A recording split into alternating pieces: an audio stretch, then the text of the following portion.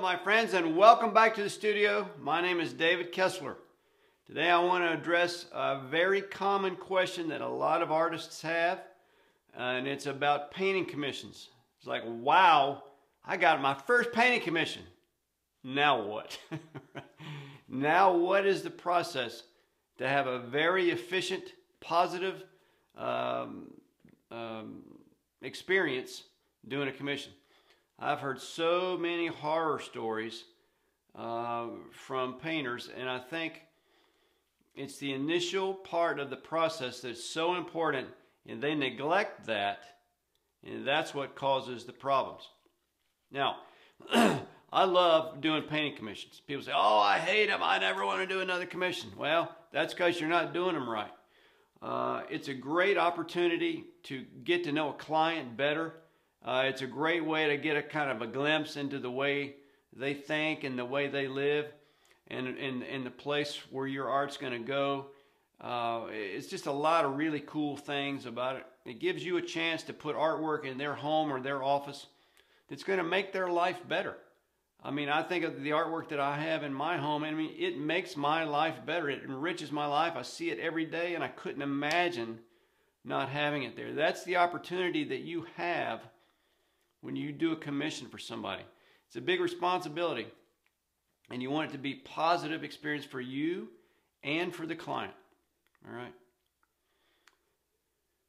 The thing I like to do is have I have an initial meeting with the person. Now, eh, you know, this can't happen if I'm doing it in another state or another place, but if it's local, this is the most important part is the initial meeting with the client.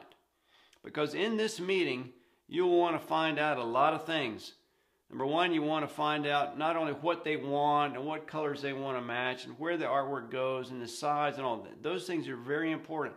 But you want to feel out the client. You want to sort of vet them by asking them a range of questions uh, designed to let you know number one, are they serious about it?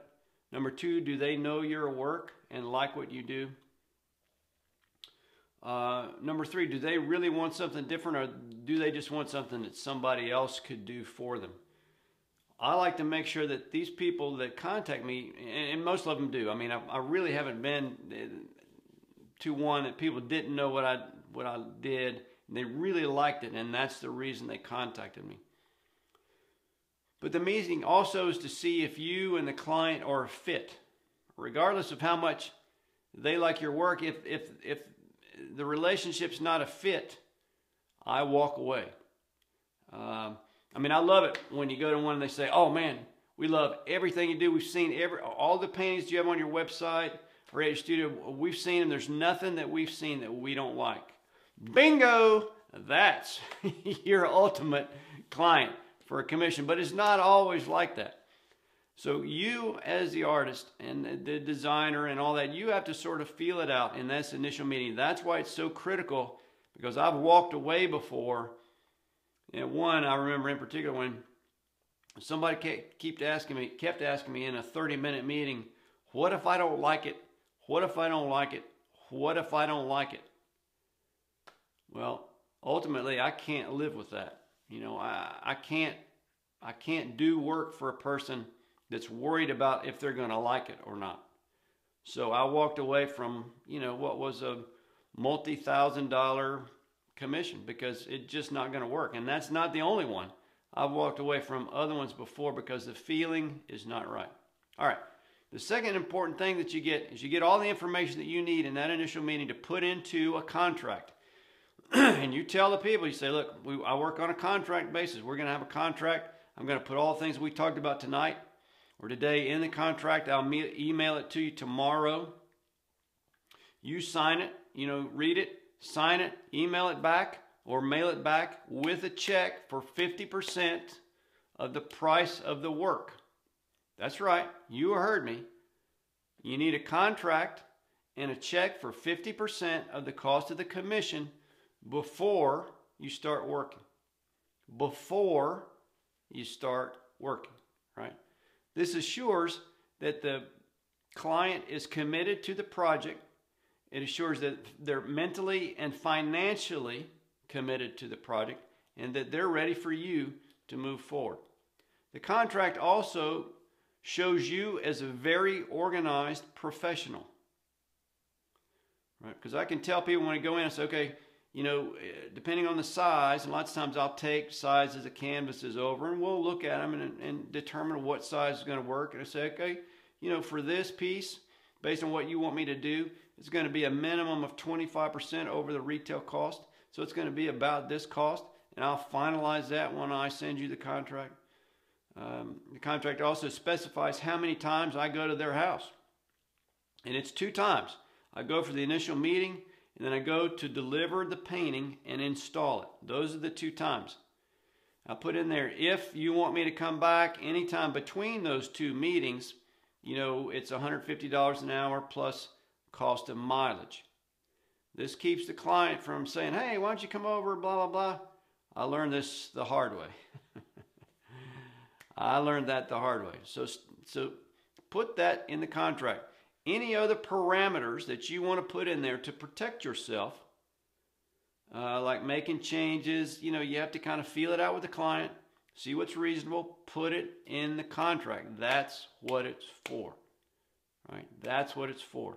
Is to make sure each party knows the responsibilities, what the costs are, what the what the parameters for the piece are, size, color, placement, etc., etc., etc.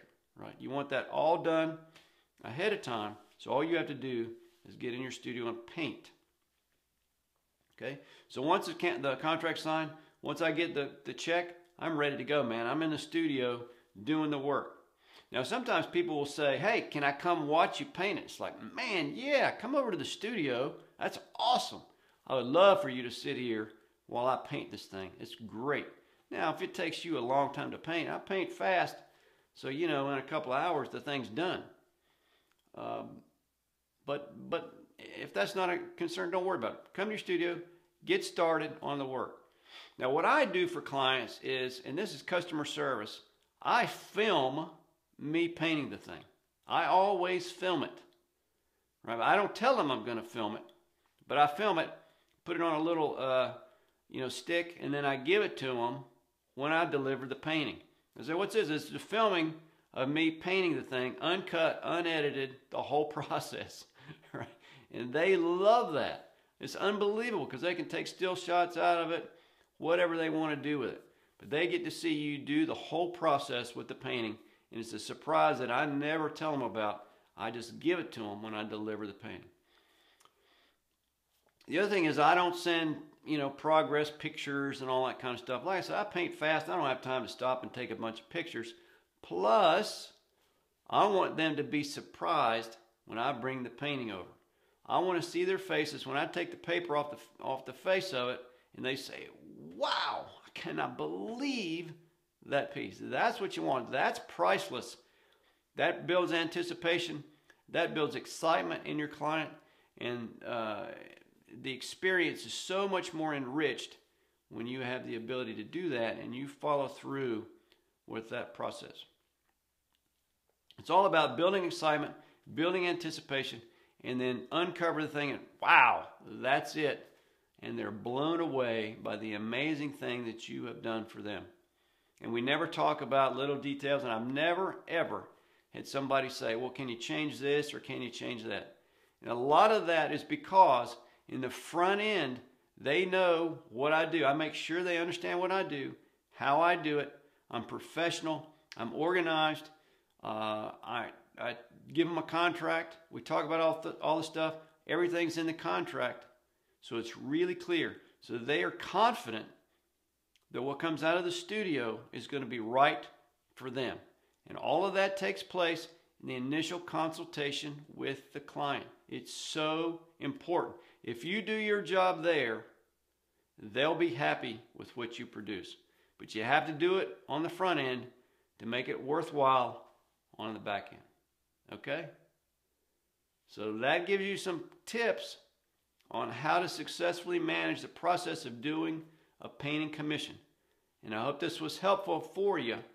And if you have painter friends that need to know this information, right now we all do, forward this video to them so they can see it and be as knowledgeable about it as you are so they can make the process uh, less painful and more professional the next time they do a commission.